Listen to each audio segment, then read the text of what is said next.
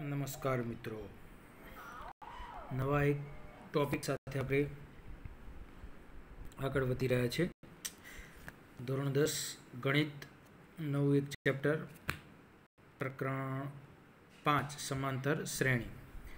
સમાંતર શ્રેણી ખૂબ જ અગત્યનું ચેપ્ટર છે અને ખૂબ જ મજા આવે ચેપ્ટર છે.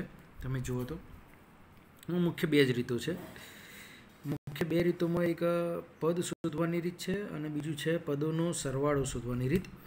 હવે એ આપણે થોડું એક પ્રેઝન્ટેશન દ્વારા જોઈશું. બે કે ત્રણ પ્રેઝન્ટેશન જોઈશું, એના અંદર તમને લગભગ આખા ચેપ્ટરની સમજ પડી જશે. આજે આપણે સમાંતર શ્રેણી એટલે શું? તેમાં પ્રથમ પદ, અંતિમ પદ, બરાબર છે? પછી વચ્ચે બીજું પદ, ત્રીજું પદ, એનમું પદ કેવી રીતે લાવીએ છીએ એની સમજ જોઈશું. ધારો કે આપણે પ્રકરણ સ્ટાન્ડર્ડ દસનું પ્રકરણ પાંચ સમાંતર શ્રેણી મેં કીધું એમ.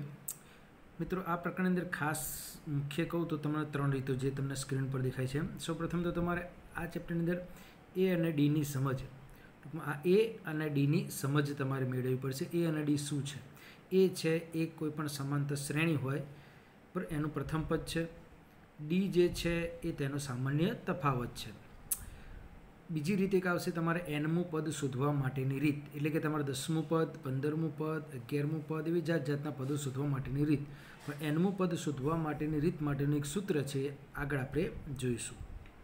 ત્યારબાદ છેલ્લી રીત છે એન પદોના સરવાળા કરવાની રીત. એટલે કે કોઈપણ સમાંતર શ્રેણી અંદર એન પદો હોય, દસ પદો, પંદર પદો, પાંચ પદો, છ પદો જે હોય તેના સરવાળા કરવાની રીત. ટૂંકમાં આ ત્રણ વસ્તુ આ પ્રકરણની અંદર તમારે અભ્યાસ કરવાની છે. તો સમાંતર શ્રેણીની અંદર સૌપ્રથમ આજે એ અને ડીની સમજ છે, એ શું છે હું તમને અહીં કહીશ. અહીં સૌપ્રથમ આપણને થાય કે સમાંતર શ્રેણી એટલે શું? આપણા મનમાં એવું થાય. તો સમાંતર શ્રેણી એ કોઈક એક સંખ્યા અને તેનામાં કોઈક એક ચોક્કસ સંખ્યા ઉમેરવાની અથવા તો કોઈક સંખ્યા બાદ કરવાથી મળતી એક સંખ્યા જ છે. બરાબર? અને એના દ્વારા બનતી, બરાબર, એક શ્રેણી છે. ધારો કે આપણે એક ઉદાહરણ દ્વારા સમજીએ, કોઈક એક સંખ્યા બે છે. ધારો કે એ એને પ્રથમ પદ છે. બરાબર છે? અને તેમાં કોઈક એક ચોક્કસ સંખ્યા આપણે ધારીએ ડી તેને સતત ઉમેરતા જવાની છે. એ ઉમેરવાથી આપણને બીજી સંખ્યા પાંચ મળે. હજુ પણ ત્રણ ઉમેરવાથી ત્રીજી સંખ્યા આઠ મળે. આમ આ રીતે સતત સંખ્યાઓ આપણને મળતી જાય ને મેળવી શકાય છે. અને તેના દ્વારા આપણે એક શ્રેણી બને. બરાબર છે? બે, પાંચ, આઠ. બરાબર છે? આ રીતની એક શ્રેણી જોવા મળે, જ્યાં એ એ પ્રથમ પદ છે અને જે ડી હું તમને કહેતો હતો એ તમારો સામાન્ય તફાવત. સામાન્ય તફાવત એટલે શું? તો આગળના પદમાંથી, એટલે કે બીજા પદમાંથી પ્રથમ પદ, કાં તો ત્રીજા પદમાંથી બીજું પદ, કાં તો ચોથા પદમાંથી ત્રીજું પદ. બાદ કરવાથી મળતી કે એક સંખ્યા, એટલે કે સમાંતર શ્રેણીની વ્યાખ્યા પ્રમાણે સમજૂતી આપી હોય, તો કોઈક એક નિશ્ચિત સંખ્યા ને લઈ તેની અંદર કોઈક એક નિશ્ચિત સંખ્યા ઉમેરવાથી અથવા તો બાદ કરવાથી જે સંખ્યાઓનો સમૂહ મળે, એ સંખ્યાઓનો સમૂહને આપણે સમાંતર શ્રેણી કહી શકીએ છે. બરાબર છે? એ સમાંતર શ્રેણીમાં જે પહેલું પદ મૂકીએ, એને પ્રથમ પદ એ કહે છે. બરાબર? અને જે બીજામાંથી પહેલું, ત્રીજામાંથી બીજું, ચોથામાંથી ત્રીજું, આ તમે જે બાદ કરો, એ તફાવત એક ચોક્કસ સંખ્યા જ હોવો જોઈએ, એમાં વધઘટ થવી જોઈએ નહીં. તો એના દ્વારા જે તમને સંખ્યાઓનો સમૂહ મળે એ તમારે સમાંતર શ્રેણી કહેવામાં આવે છે. એટલે આ રીતે પ્રથમ તમારે પ્રથમ પદ એ અને ડીની જાણકારી, એટલે કે મેં તમને જાણકારી આપી, પ્રથમ પદ એ એટલે કોઈપણ શ્રેણીનું પહેલું પદ અને ડી એટલે પાંચમાંથી બે, આઠમાંથી પાંચ, આ રીતે બાદ કરવાથી મળતું સામાન્ય તફાવત છે. આ બે વસ્તુ જો તમે સમજો તો આખું ચેપ્ટર તમે સમજી શકશો. ત્યારબાદ જોડે જોડે આપણે આજે એનમું પદ શોધવાની રીત બરાબર? એની પણ થોડી આપણે અહીં ચર્ચા કરી લઈશું. તો એનમું પદ એનમું પદ એટલે જે આપણે કહીએ છીએ કે દસમું પદ મારે શોધવું છે, પંદરમું પદ શોધવું છે, દસમું પદ શોધવું છે, એટલે એન એ કોઈક એક સંખ્યા હશે. દસ, પંદર, વીસ, પચીસ એવી સંખ્યા હોય. એટલે નંબરનું પદ. અને એ પદ શોધવાની રીત. તમારા સમાંતર શ્રેણીમાં ધારો કે આપણે આગળ લખ્યું એમ, કોઈક સમાંતર શ્રેણી આપણે અહીં લખી છે. તો આપણે અહીં છે જો બે છે, પાંચ છે, આઠ છે, અગિયાર છે, પણ એની અંદર છે એક આગળ જઈને મારે દસમું પદ શોધવું છે, કે અગિયારમું પદ, કે પંદરમું પદ, કે વીસમું પદ.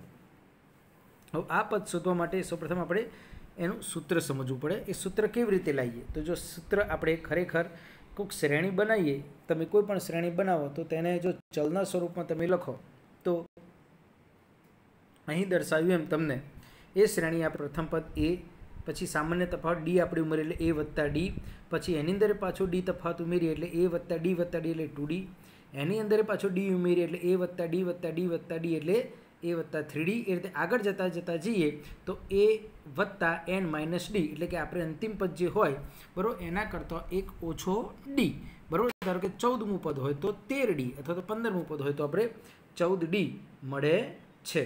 બરાબર? એટલે એનું આ તમારું એન પદનું આ સૂત્ર છે. બરાબર? એટલે કોઈ પણ શ્રેણી તમને આપેલી હોય, એને એનમું પદ, એટલે કે દસમું, બારમું, પંદરમું પદ શોધવું હોય, તો તેના માટેનું આ મેઇન સૂત્ર છે. એટલે કે ટૂંકમાં આ સૂત્ર દ્વારા તમે A N is equal to A plus N minus one into D દ્વારા મેળવી શકાય છે. એનું ઉદાહરણ પણ આપણે એક જોઈ લઈએ કે આગળ જે એક શ્રેણી મેં લીધી, બરાબર? બે, પાંચ, આઠ અને અગિયાર, બરાબર? એમાં બે જે છે એ મારે જોયું એમ પ્રથમ પદ થશે. ડી એટલે કે પાંચમાંથી બે, આઠમાંથી પાંચ કે અગિયારમાંથી આઠ. ગમે તે બાદ કરો. એક નિશ્ચિત ધન સંખ્યા મને ત્રણ મળે છે, એ મારો સામાન્ય તફાવત છે. આ એ અને ડી એ બંનેને હું મારા સૂત્ર એ ટેન એટલે કે એ દસ, બરાબર? દસમું પદ શોધું એટલે એ દસ કહેવાય. પંદરમું હતું તો એ પંદર કહેવાય. શોધવું હોય તો એની કિંમતો મૂકું. તો એ બરા, એ દસ બરાબર બે વત્તા કૌંસમાં એન ઓછા એક એટલે દસ ઓછા એક ગુણ્યા ત્રણ. આ એનની કિંમત છે. જે દસ પદ આપણે શોધવું હોય એ એનની કિંમત આપણે મૂકવી. ત્યારબાદ દસમાંથી જાય એટલે નવ નવને ત્રણ વડે ગુણાકાર કરીએ એટલે સત્યાવીસ અને એ સત્યાવીસની અંદર બે ઉમેરીએ એટલે થશે તમારા ઓગણત્રીસ. એટલે કહેવાનો મતલબ શું છે કે આ રીતે તમે કોઈ પણ પદ, બરાબર છે? દસમું, પંદરમું, પચીસમું તમારા મુખ્ય વસ્તુ શું છે? એ અને ડી પરથી મેળવી શકાય છે. ટૂંકમાં આ દાખલાઓની અંદર તમારે ટૂંકમાં એન, એ એન અને ડી આ ચાર વસ્તુ તમને દેખાય છે. આ ચાર વસ્તુમાંથી પરીક્ષામાં તમને ત્રણ આપે. એ આપે, એન આપે, ડી આપે, અર્થાત એ આપે, એન આપે એન આપે, તો ડી શોધવાનું પૂછે. ડી આપે, એન આપે એન આપે, તો એ શોધવાનું ટૂંકમાં ચારમાંથી ત્રણ તમને પરીક્ષામાં આપે છે. અને ચોથું એક પદ આપણે શોધવાનું હોય છે. કાં તો એન સ્વરૂપે શોધવાનું હોય કાં તો એ સ્વરૂપે શોધવાનું હોય કાં તો એન સ્વરૂપે શોધવાનું હોય કાં તો ડી સ્વરૂપે. આટલું તમે તૈયારી કરો, તો લગભગ એનનું પદ શોધવાની રીત તમને સો ટકા આવડી જશે.